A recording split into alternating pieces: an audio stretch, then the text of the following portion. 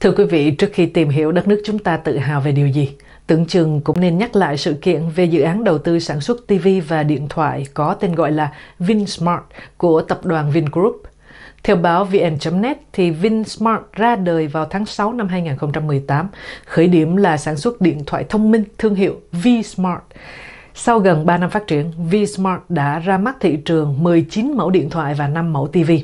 Có thời điểm điện thoại VSmart đứng thứ ba thị trường smartphone của Việt Nam với trên 15% thị phần, một thành tích hiếm hãng nào làm được từ trước đến nay. Thống kê mới nhất trong quý 1 năm nay, VSmart có khoảng 9% thị phần. Mấy ngày nay, Vingroup vừa gửi thông báo chính thức về việc dừng nghiên cứu sản xuất TV và điện thoại di động để tập trung nguồn lực phát triển các sản phẩm điện tử và các tính năng về infotainment cho ô tô VinFast. Theo quyết định mới thì VinSmart sẽ dừng việc phát triển TV và điện thoại di động, chuyển sang phát triển các tính năng thông minh trên phương tiện giao thông và nhà ở. Trong đó trọng điểm là phát triển các tính năng thông tin, giải trí, dịch vụ, tức là infotainment cho ô tô VinFast. Với gần 150 tính năng infotainment sắp được trang bị, ô tô VinFast sẽ mang đến những tiện ích khác biệt, tạo lợi thế cạnh tranh trên thị trường ô tô toàn cầu. Nhiệm vụ thứ hai là tập trung vào việc nghiên cứu, thiết kế và sản xuất các linh kiện điện tử, các tế bào pin điện và hệ thống pin điện hoàn chỉnh và động cơ điện các loại nhằm tăng tỷ lệ nội địa hóa và đảm bảo nguồn cung chất lượng cao cho VinFast.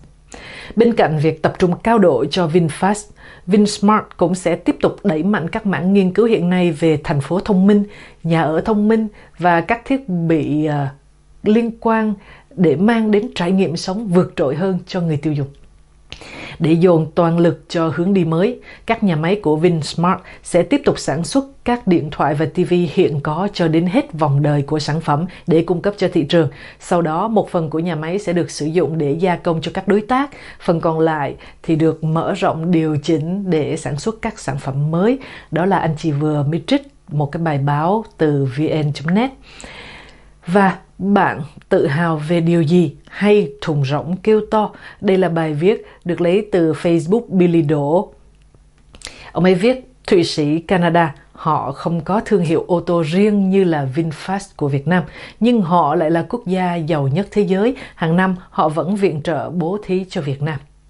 Pháp, Đức, anh, họ cũng không có sản xuất smartphone riêng như là B-phone của Việt Nam hay còn gọi là bướm phone của Việt Nam, nhưng họ cũng là những quốc gia tiên tiến bậc nhất thế giới.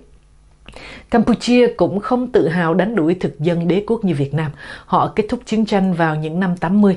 ấy vậy mà giờ đây kinh tế của nước họ đã vượt qua Việt Nam. Indonesia, Malaysia họ cũng không có dám tự hào vì luôn thua cuộc trong những trận đá bóng giải SEA Games với Việt Nam, nhưng họ vẫn là những quốc gia tiếp nhận phần lớn lực lượng lao động cơ bắp gái mại dâm Việt Nam sang đánh thuê cho họ để nuôi thân. Lào, Singapore vân vân cũng không dám tự hào vì nước họ không có người đốt lò vĩ đại chống tham nhũng như Chủ tịch nước Nguyễn Phú Trọng. Vậy mà nước họ nào có tham nhũng đục khoát kiệt quệ như Việt Nam đâu. Hàn Quốc cũng vậy, họ không có tự hào như Việt Nam là nước xuất khẩu gạo đứng hàng thứ hai thế giới. Vậy mà năm 2018, họ lại viện trợ 10.000 tấn gạo cứu đói cho các tỉnh miền Trung ở Việt Nam. Còn Mỹ, Úc, New Zealand, họ cũng không bao giờ tự hào vì có mỗi hơn 300 năm lịch sử. Họ thua xa Việt Nam tới những 4.000 năm văn hiến. ấy vậy mà khoa học kỹ thuật, giáo dục họ phát triển đến mức hàng năm có biết bao nhiêu du học sinh Việt Nam bám càng theo sang học rồi ở lì không chịu về. Nhật Bản, Đài Loan, Hàn Quốc họ cũng không thể tự hào như Việt Nam bởi lẽ họ không có một vị lãnh tụ, một danh nhân văn hóa thế giới muôn vàng kính yêu. Thế mà từ già trẻ gái trai Việt Nam đều phải qua nước họ để làm nô lệ, tức là đi xuất khẩu lao động đó. Biết bao nhiêu quốc gia trên thế giới họ cũng không có lực lượng mũ nồi xanh của Liên Hiệp Quốc như Việt Nam. Họ không gửi quân sang châu Phi. Vậy mà họ vẫn giữ nguyên được lãnh thổ biển đảo quốc gia của họ. Các nước khác họ cũng chẳng có tư tưởng đạo đức tác phong cái gì để mà học tập nọ kia. Vậy mà tỷ lệ mại dâm, phá thai, sida, ung thư của nước họ ít hơn ở Việt Nam rất nhiều. Vậy thì một lần nữa tôi xin hỏi các bạn, các bạn tự hào vì điều gì?